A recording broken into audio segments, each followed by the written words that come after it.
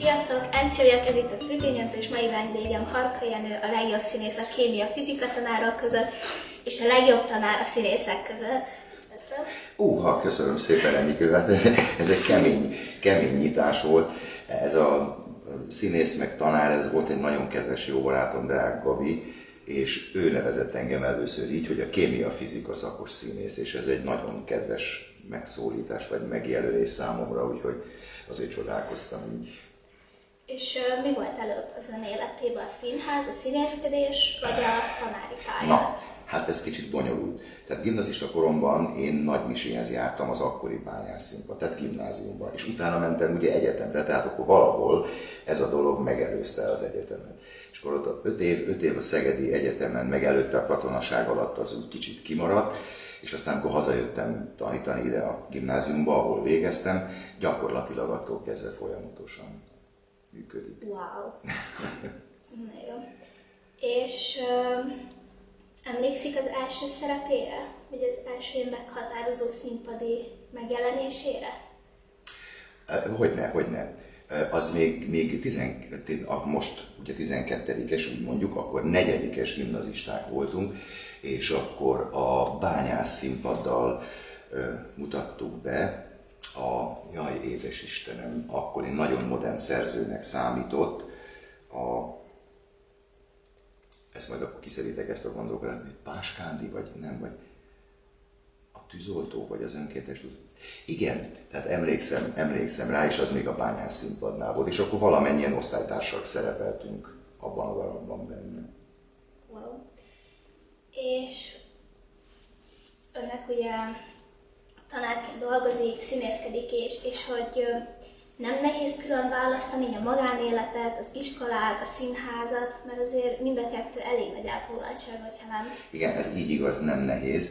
Azért nem nehéz, és csak azért mosolyogtam, mert ez a kérdés ez ilyen szokásos.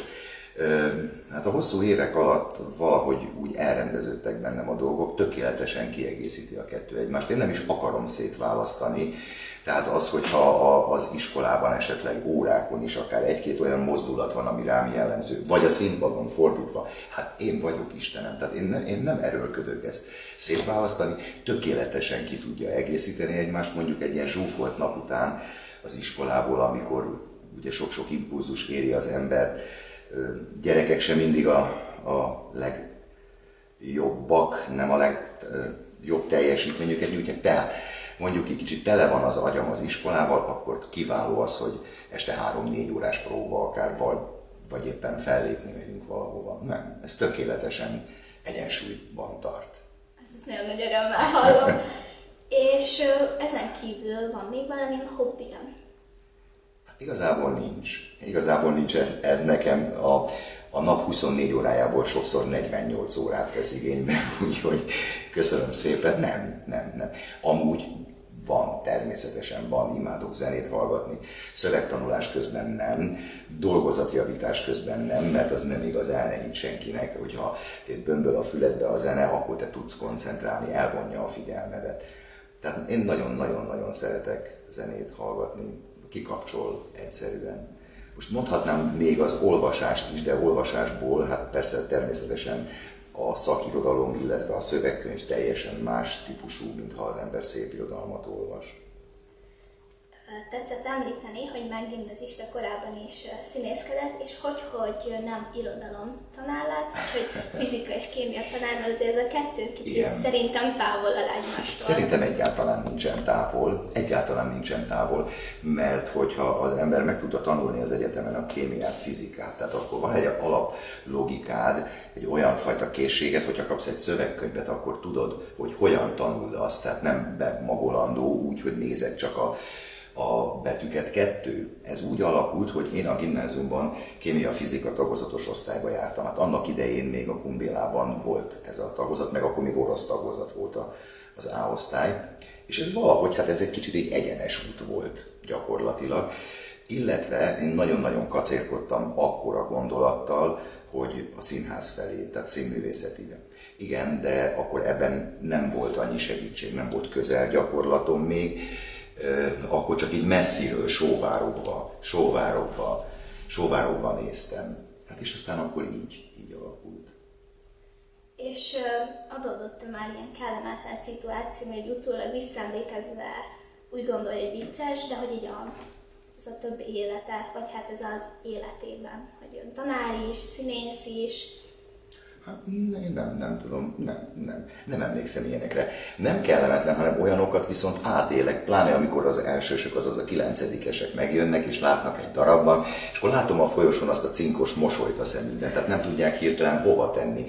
Ezt volt olyan is, hogy egy adott darab után nagyobbak, akikkel már az ember közelebbi kapcsolatban van, a, a színpadi nevemen szólítottak és mondták azokat a elég blöd dolgokat, meg sokszor káromkodásokat is, és hát ezt, ezt nem szabad fölvenni, hát ez én vagyok, hát és ezt, ezt tudni kell helyén kezelni. Én úgy gondolom, hogy tudom, de aztán tudod, ez a minden csoda három napig tart, ez utána elül, és megszokottá válik az újak számára is ez. Tehát nem volt kellemetlen élményem ebből, hál' Istennek nem. nem.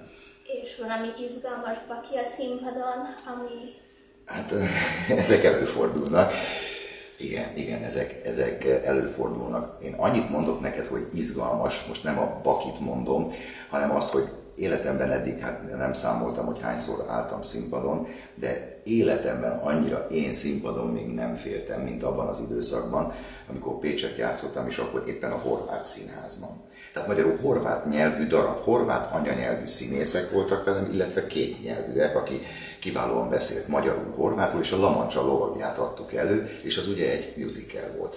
És abban énekelnem is kellett. Én voltam a Borbi, szólódalom volt. Tehát a próba időszak az hagyján, mert jártam a korrepetitorhoz, tehát napi több órát töltöttünk a horvát nyelvvel, tehát én a szöveget megtanultam, de én nem tudok horvátul. Na és itt volt a baj és mondom, te jó Isten, ha egy valami, egy pillanat kihagyás, hát nem tudok mit mondani, milyen szót mondani helyette.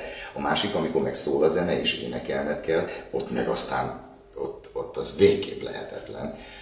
Nem, hát ez, ez minden előadás végén, amikor ezt játszottuk, hát egyszerűen csavarni lehetett a, a vizet a, a, a jelmezekből. Tehát életemben én akkor szabályosan féltem, tehát az újtól, az ismeretlentől, mert egy magyar nyelvű darabban borzasztó kellemetlen, hogyha kihagy az agyad, de benne vagy a darabban, a próbaidőszakban, tehát valahogy tudod pótolni más kifejezésekkel, mondatokkal. Persze észrevehető az, hogyha valaki nagyon bájtfülű, de a társad tud ebben segíteni. Ott, tehát ott viszont semmi nem volt. Tehát ez ilyen szempontból, ha, ha úgy tetszik, ez, ez egy nagyon félelmetes dolog volt nekem. És uh, most említett, hogy a horvát. Igen. hány ilyen szintársulatnál játszott ön? Hát annyira nagyon nem, nem sok. Tehát kezdtem a bányász színpaddal, még az ősidőkben, Ö, aztán akkor itt, itt Komlón már kezdett alakulgatni a, a súgolyú, de, de, de még, még nem, hanem akkor én elkerültem Pécsre, bent voltam egy felvételizni Donovázoli barátom kapcsán, kerültem oda, tehát ő már akkor bent volt, és akkor ott ragadtam, kaptam szerepet, és 5 vagy 6 évadot töltöttem wow. ott, amikor onnan hazajöttem, tehát akkor abszolút itt Komlón semmi. És akkor, akkor alapítottuk meg, hogy úgy mondjam, a Sugolyuk Színházat, Harnóci Csabáné, Márti, Korbúj, Pisti volt benne, a Megyesi Ibi és jó magam, és attól kezdve akkor áthelyeződött ide. Tehát ott működött tovább ez a horvát színház, de tehát a, a nyelv hiánya miatt egyszerűen nem, tehát azt a stresszt én még egyszer nem akarom átélni, mint ami abban volt. Úgyhogy így, így akkor ez itt maradt, és hát én úgy gondolom, hogy megtaláltam teljes mértékben azt, ami, amit keresek, vagy amit kerestem. Hát szerintem azt elmondhatom, hogy minden komlói lakos nagyon örül annak, hogy a tanár úr itt van a súgójukban, és van a súgójuk, mert nagyon szeretjük az eladásokat. És családja hogy viseli azt, hogy Hát a, a, a, a, a nagyobb családom, tehát értsd ez alatt úgy, hogy a, a unokatestvéreim, illetve nénéim, tehát most, most sajnos egyre kevesebben vannak az idősebbek, az elején nagyon, nagyon furcsa, mert nem értették, amikor azt mondom, hogy de nem tudok hazamenni, mert próba van, oda megyünk, ide megyünk, ide, oda. De nem, mi, mi kaptok ti azért pénzt? Nem, nem kapunk segít, akkor bolond vagy, akkor miért csinálod? Azért, mert ez az életem, mert szeretem.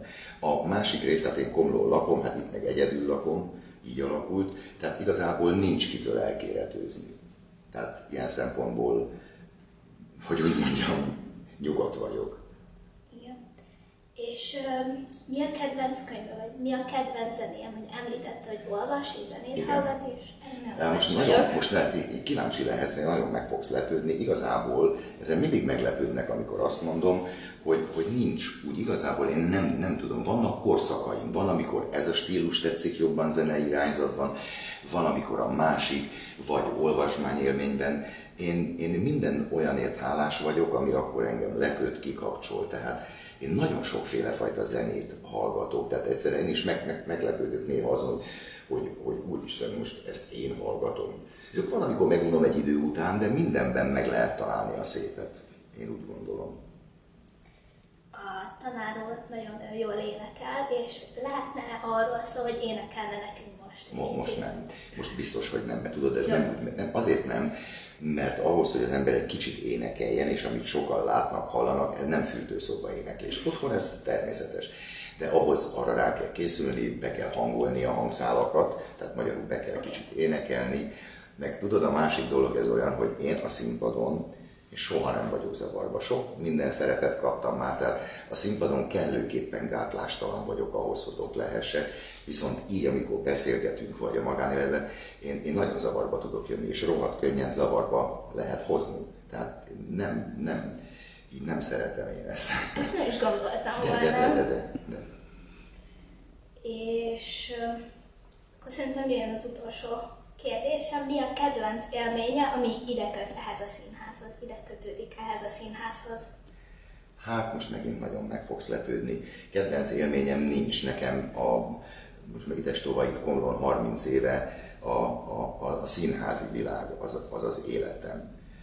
Eljárok dolgozni, mert ott pénzt keresek, abból meg kell élni, imádom a munkámat. A munkámnak is azt a részét, amikor veletek vagyok az osztályteremben, tehát a, a hivatali részétől kiütést kapok, de azt nagyon imádom. Viszont itt, itt meg a másik fele zajlik az életemnek, tehát én úgy mondanám ezt neked, hogy minden ide köt, rengeteg emlék. Most, hogy éppen volt ez az online vetítése a közösség, vagy közösségi, közösségek, na, közösségek házának ez az online vetítése, én, én, én könnyezve néztem végig a, a, a régi darabjainkat, a macskák és egerek, a bodékbodékat, tehát minden, mindenben van valami olyan emlék, vagy ezért, vagy azért, vagy amazért, úgyhogy számtalan dolog köt ide minden. Nagyon-nagyon szépen köszönöm, hogy eljött, és meg interjúvolhattam, és még találkozunk. Hát nagyon szívesen, és én köszönöm a lehetőséget, viszontlátás. Sziasztok!